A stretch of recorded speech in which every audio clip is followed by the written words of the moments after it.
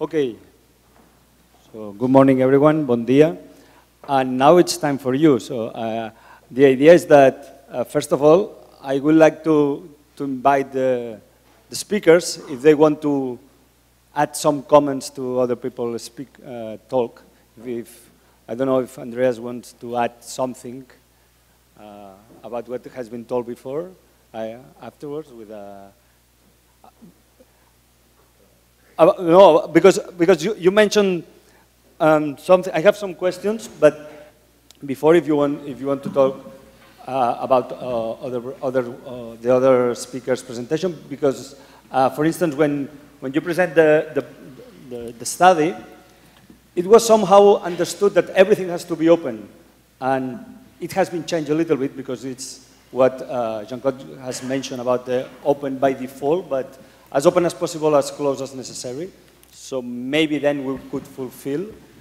Uh, I have a, another question about legal question. If it could be legal to deposit uh, data closely, there is a project from Harvard called DataTags that they are offering tools to deposit data, even with uh, encrypted data, when there, there is sensitive data, and then at least everybody could have uh, like a catalog of data, knowing that the data exists, even the data is closed. Mm -hmm. So maybe then we can find some protocols.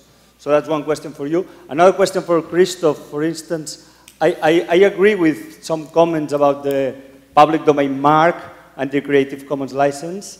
Uh, I, don't, I, I, I know that in the afternoon there is a, uh, breakout session dedicated to license, so we can discuss furthermore about the data and the problem that suppose in Europe the database rights, that also has another issue. And to Jean-Claude, I also have another question about who evaluates the opt-out. So meaning I can say I have IPR issues, I have, but do you evaluate that or you just accept it as it is? So I don't know. Just three questions that I just jump, and I, I will invite the other people to, to jump. Yeah, as you addressed me, maybe I will start. Um, yeah, it was very interesting to to uh, hear that um, it's not about openness as a uh, as a uh, utmost principle, but um, as open as possible. Um, but of course, considering what I mentioned about data protection, um, we have a here basic conflict, and the question is if we uh, really adhere to what data protection um, um, may force us to do, is it still open access in the end? What will come out of it? Uh, so um, um I'm not sure if it's really possible to absolutely um, um, live up to data protection standards and still keep the level of open access that we want to. Of course, it's always a way to find solutions, and there are, there are always solutions, and one solution may be encryption, you mentioned. This is the other, uh, next to anonymization, maybe the other technical way out of the problems, and it's also just discussed on a general level um, as, a, as a means for protection of data in general, to have it encrypted on a very low technical basis. So as soon as data produced, they will be encrypted and only decrypted uh, at the end user or the user who really uses it. That I'm not an informatic, but what, what I read and heard from informatic people, it may be a way, but of course then you create another problem of management because, as you mentioned, you have to give people uh, access to the encrypted data, and then you have to draft again some kind of management system, which also includes um, giving certain people rights and other people not rights, and so, so you can create new problems of, of management of, of such a system. So everything has its ups and downs, and it's, it's uh, very difficult to. Uh, but maybe Nils also has some um, something to add. He didn't uh, involved yet, so I think he also has something to say. Oh, yeah, okay.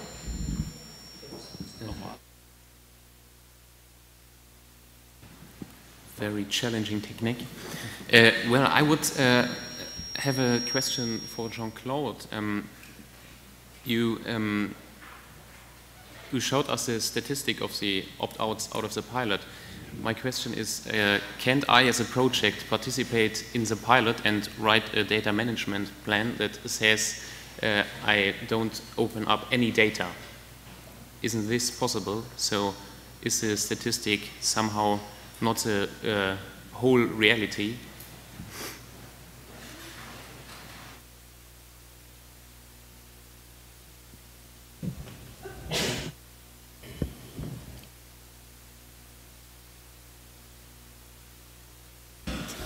My finger.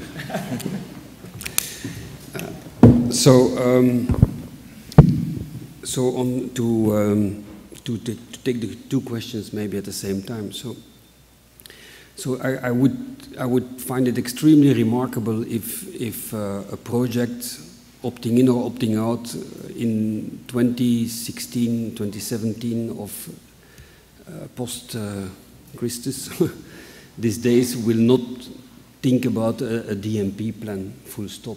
I mean, in, in, in our data-driven science reality, it's a bit remarkable if, if people would still uh, consider submitting large consortia, large projects without thinking of DMP.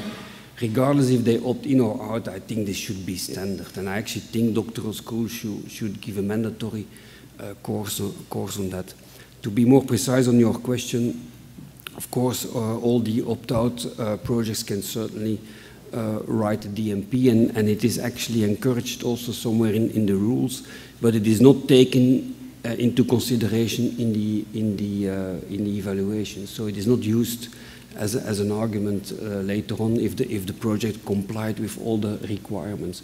So we do encourage that projects write DMP, but if they opt out, they don't share it. You see? So that is uh, because they don't want to, I mean, they share the data to the project officers and within the consortium, but they don't share it in the repository. So that is, it is, it is uh, uh, uh in a certain sense, uh, a zero-sum game in, in, in, that respect. And, and as you said, so who evaluates this? Well, do we have uh, all our project officers are the, to the people organizing the evaluation and, and, and uh, bringing together the panels for evaluating the projects, they, they, they, do, they do the job there. And I also think, if I may, to, to, to come back on, on what you said, um, I, I, really think we have to try to come up with a, a dynamic approach into defining these, uh, these problematic issues of personal and, and uh, privacy and so on, because a static, a static approach will simply, simply not work. If, if, if in 10 years' time we all have implants to regulate something, now, before we fix that legally, I mean, the pharmaceutical industry will have already done it. So, so it, is, it is something we have to say probably more on a, on a case-by-case basis, and the cases can be enormous. Uh, they, are not Mickey Mouse cases here, and, and, we should try to come up with dynamic approach. And that's why I think, and that's what the point I wanted to make, I think it is very important that the, the community and the disciplines themselves have an important say in, in this, that it is not only let uh, not only the, the, the, the, mandate of legal or, or, or uh, technical people to judge on this, but the communities themselves should, should have a voice in, in, in, this, in, the, in deciding on what the dynamic uh, framework could be.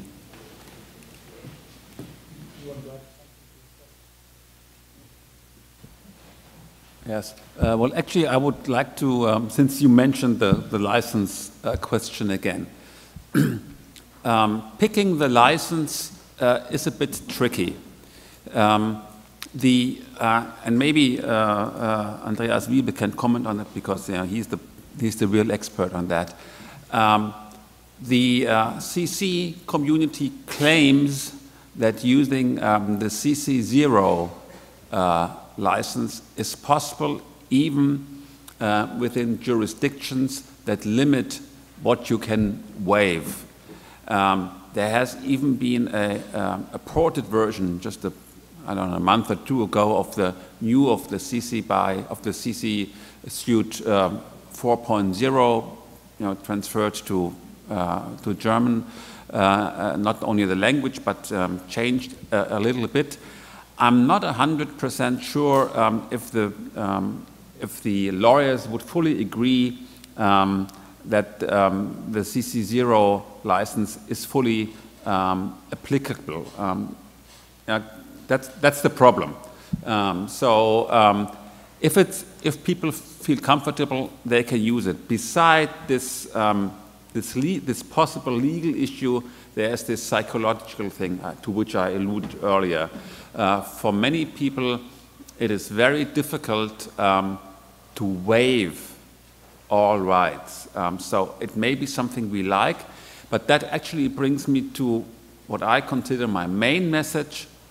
I think um, we need a framework that is to be provided by the research organizations that takes a lot of the responsibility concerning making data available away from the researcher and provides certain workflows which um, you are, are, then perceived as just being the normal workflow and then it just goes that way.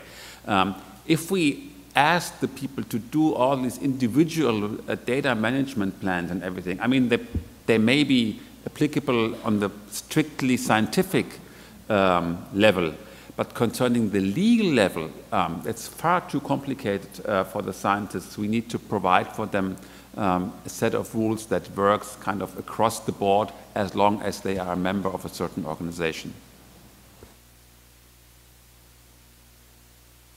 Tricky, it's hidden. Um, yeah, as to the waiving of rights, uh, the CC with the CC license, um, of course, the situation in different countries is different as well in this respect. Um, you also have to take into account that there's uh, different rights involved. It's not only copyright, it's also the database right may be involved, which is, uh, has come quite late into the CC complex as well. And uh, for copyright, for example, in our continental systems, it's not possible to waive co copyright completely whereas database right situation is a bit different. Um, the um, problem is, um, but there are maybe two more problems also with this uh, waiving of, or with this CC0 right, which I, I, I, think applies when there are no rights involved.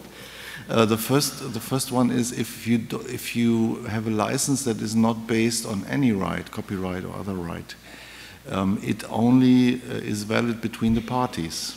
So once this, the information gets out outside of the contract to a third party, you cannot control it anymore with this kind of license unless the third party is also bound by this license.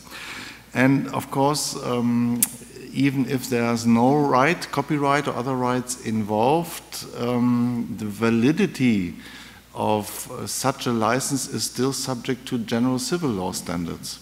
And this means, uh, for one thing, uh, there's a um, kind of standard control um, mechanism, uh, which is, has different levels of strictness in different countries. For example, in Germany, we have very strict control of standard contracts. There's also a European directive, but the, the levels in the member states are different of this kind of control. And there's also um, a, review, review according to competition law, cartel law. And these are the, the main subjects. There is a, for example, European court decision if if you license, for example, a database that is not protected by database rights, you can put as many restrictions as possible, but subject to national law. And then you have to look to national law, German, Italian, French, and so on, how strict the control of these contracts are. And this um, adds the problem that we have different levels, even within Europe, of this kind of control. So it's a bit complicated legal situation as well. So perfect, you are preparing the session for the afternoon. Uh, please, if there is any question, there are a few questions there. So I'll pass around. And you can introduce yourself, and then we know you come from. Okay. Uh, I'm Jörg Geiger from Germany. Uh, I'm in the biobanking field, and so we are very much concerned with uh, uh privacy questions. Um, what we came basically down, so basically one comment and one question. Uh, one comment would be, uh, what we came down basically is with regard to data quality, there's no way uh, to get off the, the requirement for consent because uh, anonymization basically means a reduction of data quality to a, to a level that they are, they are no longer usable in a, in a really reasonable way. So we have to stick to a consent and our aim is to implement kinds of a, a broad consent, uh, which is basically, it, it's, it's a legal problem actually. But as long as we are, and that's our opinion, as long we are flanking methods to that, like ethical committees, IRBs, uh, technical uh, restrictions, um, we hope that we can implement it in a way that it's usable and it's acceptable from the legal and from the individual. Um, I think this is the way to go because there are no real alternatives, in my opinion, to that. Um, and just a question following that. Um, different issue, but also legal. That's the question of responsibility. What we are uh, very much concerned as well in the medical field is uh, that whenever we give data out, um, there's someone using the data. And um, how can we control, uh, well, how can we be responsible for data that have been generated somewhere and are now used for clinical decisions, for example, in the early, early uh, clinical uh, unit, for example, um, if the data are not valid or of very low quality, there are consequences. There may be consequences for the patient, there may be consequences uh, in a very broad range. Um, who takes the responsibility if these are open data and we actually cannot stand for the quality for the data because we haven't generated them, we only have collected them.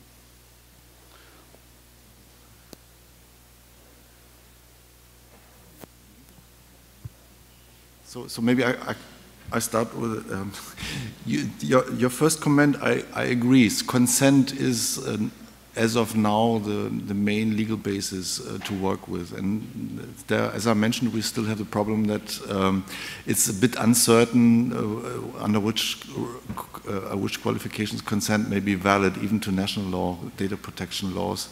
Um, I think it would be helpful if the data protection group 29 or its follow-up under the regulation would make some general uh, statement on um, like a commentary on what could be the valid requirements for valid consent and uh, to in introduce this into the legal discussion. Hopefully we will see this uh, in the future. Your last question is quite complicated. It goes, goes back to general civil law. Is there any kind of liability for information quality? Uh, as of now, um, the um, standards for liability for information are quite uh, broad. So um, you cannot really make somebody liable for bad, bad information quality. Uh, of course, there are always limits to everything, but uh, generally, under tort law at least, uh, it's, it's difficult to make somebody liable.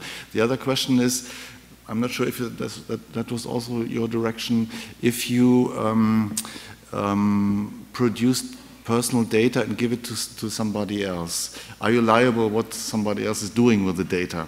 Under data protection law, the liability is limited to the data processor, so the person who processes the data.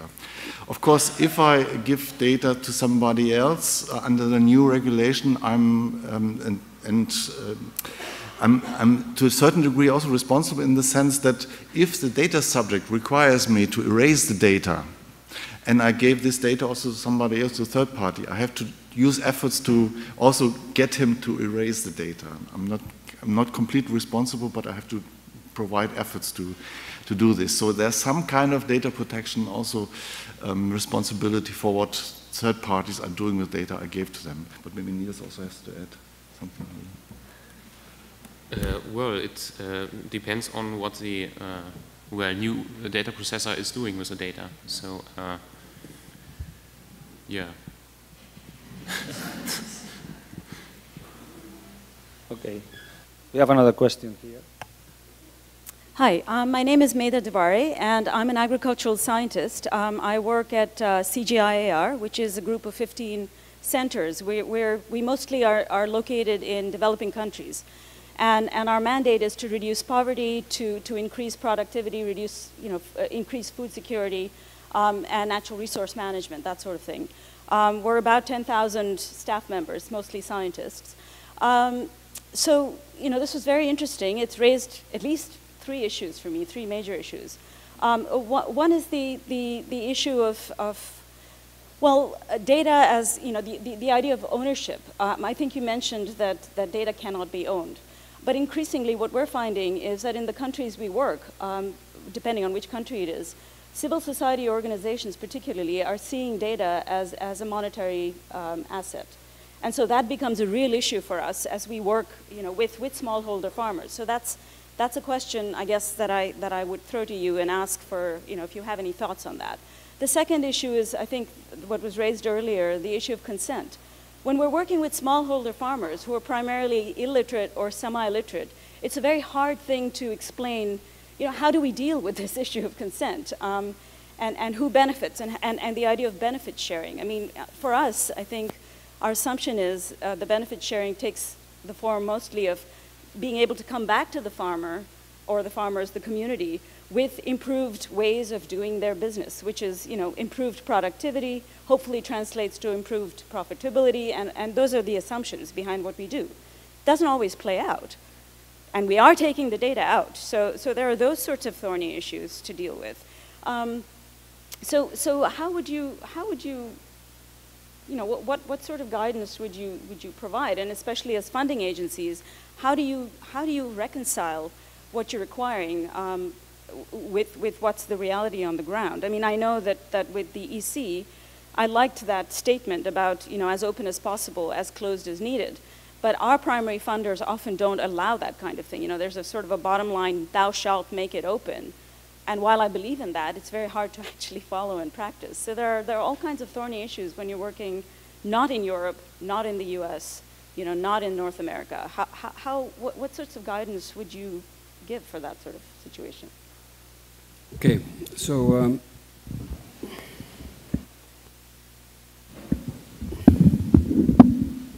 ah, it works. So let me uh, try to to, to give a few elements because again I think this is an unfolding discussion for which uh, no one has, a, has a, a, certain answer I would say. Otherwise we would not sit here. We would just do it.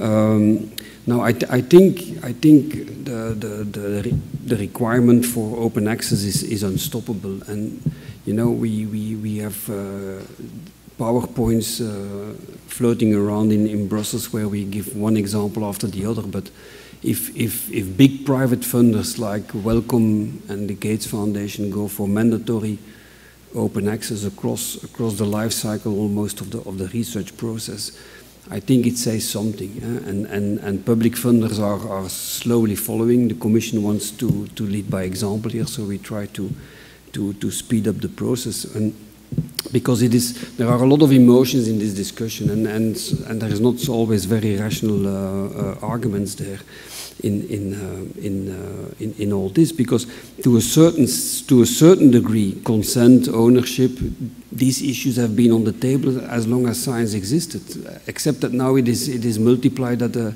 at scale x because of the digital availability and the internet so, so it is, these are not issues that we have not looked at in the past, and quality of data and quality of data production and the reuse of data or the malign reuse of data. These are things that have been existed all the time, uh, and for which there were uh, sometimes uh, solutions. The complexity becomes because of, of, of the fact that it is now available at a scale which was unprecedented. And I personally also think, for example, if you, if you look at the issue of, of uh, of, of ownership, well, if you, if you try to restrict the question to a research environment, it becomes easier to tackle. Uh, because ownership of data in general, I, I, cannot see how you can solve that in, in, in general because it is simply too vast and, and too dynamic. But if you refine the question to who owns the data that have led to certain uh, pieces of research which have been peer-reviewed and accepted by the community, community, it becomes much easier because you, you know that there is quality, otherwise it would not have been peer-reviewed. You know who is the author, you know, uh, you know that there are probably uh, uh, instruments being put in place for, for, uh, for consent. So I think that that is really something we have to uh, see at different levels. I, the example I always use is that uh, hospitals are very easily to be convinced to, to, to, live, to give their data if it is for a research question to find, uh, for example, how uh, asthma is related to traffic jams in, in, in urban cities. They will not do so if the project is sponsored by a pharmaceutical company, or they will do so on condition that the IPRs are taken into account, and they will certainly not do so if they don't know where the question comes from. So there are gradations in the problem there which, which are related to the nature of the research uh, question. But a generic open data policy uh, uh, is, is, is, simply impossible. Now, and, and if I if I may to um, to uh, to, uh, to, to tackle the issue of quality, I think if we go, but that's a speculation, if we go to an environment where open data becomes a default attitude of a researcher, which means that the downloadability of his data might be an indicator of the quality of his of him as a scientist, as a data provider. And that will be, and that can be then taken into account in the evaluation for his career, for his tenure.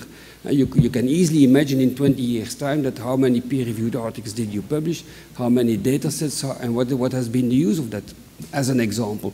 Now, that is an inherent mechanism of the science world that we know works very well, which is peer-reviewed uh, control. So you can assume that the more open the system is, the better the quality will become because there is much more control. So that is a little bit the way I, I would, I would uh, look for, uh, for, for uh, solutions. And then finally, on, on the consenting, and, and I, I, think it's, it's, it's very important because we will see much more, much, that's my personal view, uh, we will see more and more uh, distributed ways of collecting data rather than centralizing them. Uh, you, we all know the example of, of the, the health applications on your iPhone that at some point in time it was discovered that actually in, in the back of your activity the health application registered how many steps you did, how many kilometers you ran, and then those data were sold or used by, by, by uh, Apple-related companies to do X, Y, Z on that. So that kind of mechanism whereby the data remains on your phone, but the, the software, so to speak, to use them is, is traveling around, is, is a completely new challenge because if it, it is all centralized in, in one data center, then it's relatively easy. If it is no longer is centralized but decentralized, actually a little bit blockchain if you want, you, you can even think in that direction in the future, then, then you get real big tough uh, uh, questions on the table. Now, how do we organize consent here and what are the, the procedures to put in place there? You mentioned the ownership question again. I think it's also this question is, is now so much discussed because of the uh, increasing amount of data production and data processing. And we're talking about Internet of Things now. We in 10 years, we will all be part of like a thing in the Internet of Things. Uh, if you look, uh, hear what informatics are projecting, it's a bit scary also, I must say. Um, the, ownership, the ownership question, um, I know very well in practice, people think that data they have stored are their property. And you can also look into contracts or you can look into standard terms. Um, we provide you with the ownership of the data or we transfer the ownership of it. From a legal point of view, there is no ownership in data. There's no property in data. What what you might have is, in very exceptional cases, copyright on, on parts of the information. What you might have is a database right. The database right, if you extensively construe it may apply to censored, um, to data which are produced by sensors. And if you, from the sensor, it goes directly into database, you might include this um, data produced by sensors into the database, right? But to the rest, of course, there's trade secret, but this doesn't play much role in research field. Beyond that, there's no property right in data. Of course, the problem is the practice is not, not aware of it. And even if, if you go to the industry, people don't know this. So they treat data as if they're their property. That's why also the European Commission is thinking about introducing a, a right which would accrue to the producer of the data. But there are lots of practical problems. For example, I always take the example of a car. The cars we use today have about 100 sensors included already. They're producing all kinds of data.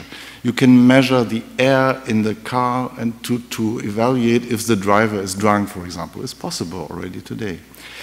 So then if you have this data, you know, about how the car is driving, the speed, what the driver is doing, who should be the owner of this data? Is it the driver? Is it the owner? Is it the producer of the car? Is it the producer of the box with the sensors, all, all are candidates for such a property right. So who should be the owner? You have to make a decision who will be the owner, and then he can no negotiate his property. So already the question who should be the owner is quite unsolvable. And the next problem is, of course, with personal data, you can always say which person is the information about. He, he's a data subject. If you apply such a right beyond personal data to any kind of data, then you have to decide what is the subject of this right. You mentioned data that are stored on my mobile. If I, like pictures or like, like address data or something, if I transfer this data to another mobile, is it the same data or is it different data that are stored on the next mobile? I think it's different data. So what is data about? Basically, it's about information. So you would have a right on information. And then, of course, you have the, the problem I mentioned. You would protect any information. It would be complete shift from freedom, free flow of information to a property concept of information. And I think it wouldn't work in practice. So that's the problem I have with the property, the, of, of the general ownership of. Of course, uh, you have different levels of legal ownership. You can say one thing is property right. You can also exclude others from using information. A bit lower level would be to just have def like defensive rights. So if somebody destroys my data, I can have a claim to damages.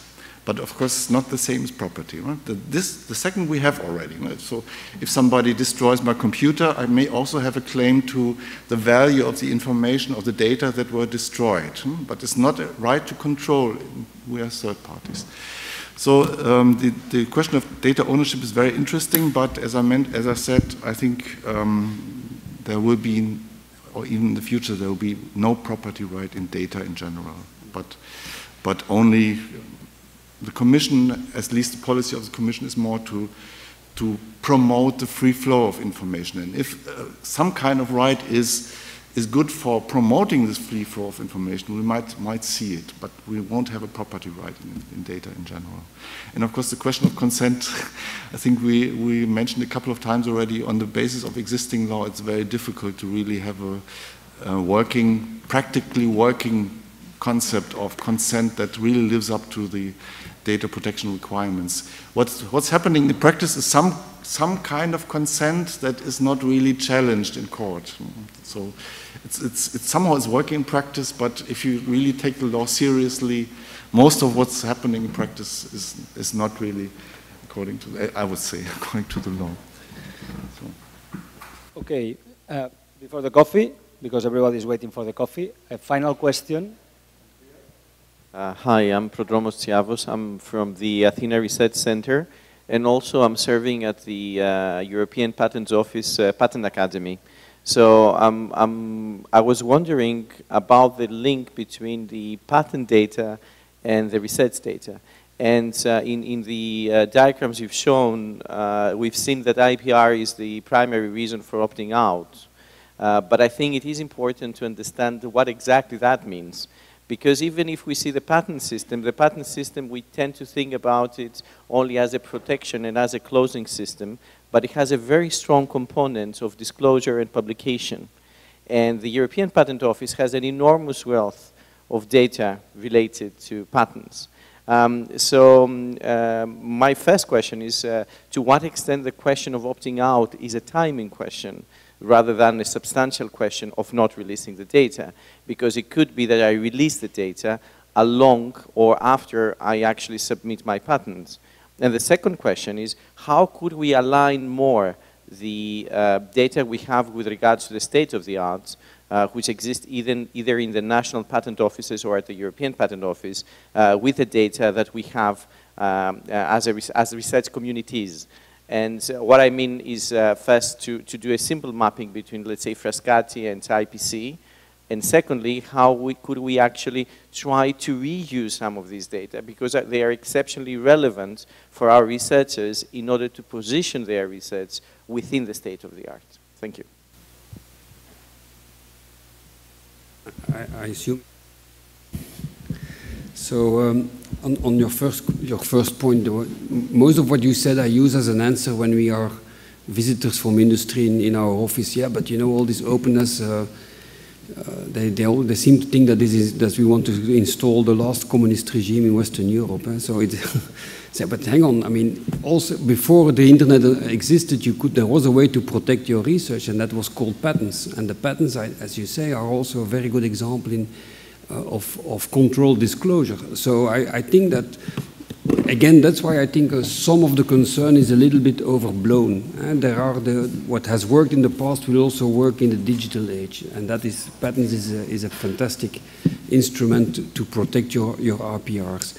Now, on, on the beginning of your question, um, so the, the box is ticked we want to opt out because of we assume that there might be a problem from an IPR point of view. That's, that's, that's how it works. And then what we now would like to see is a little bit more substantiation of that. But there again, I mean, uh, we, what we try to, in, to, to train our project officers now in Oslo, but hang on, if that is put on the table in the discussions, please flag to, the, to these uh, good people that there still is something in, like a patent that can, that can do the job perfectly well. So you can I would say maybe not so much in health research per se, but uh, to a very large degree you can marry openness with, with uh, co uh, property control as well if, if you use patents. Now, and I personally think that it would be fantastic if the databases of the, of the EPO would be used in, in the Science Cloud. So I, I can see you as a, as a big provider there as one of the nodes uh, for that kind of uh, data in, in the overall architecture of, of the Science Cloud. You know, the way we, we, we see the Science Cloud, it's a, it's a federation of data centers and, and, and clouds, and that, that, that could be uh, one of them. Now, the, the second question, I, I, I lost it in the meantime. So what was the second question?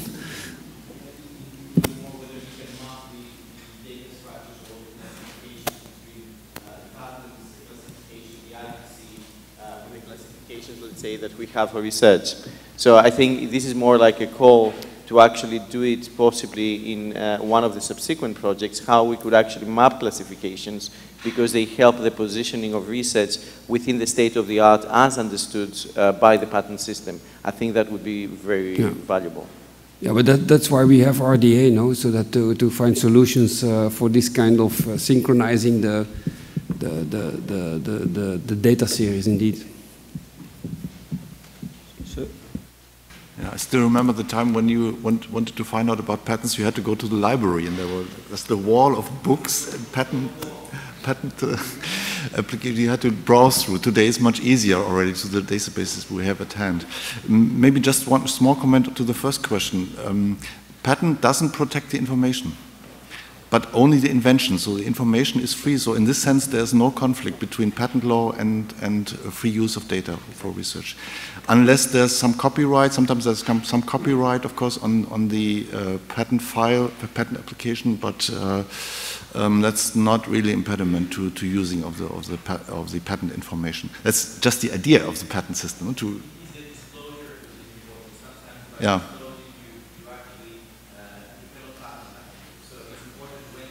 Yeah, okay, okay, in the early stage of the application. Yeah, okay.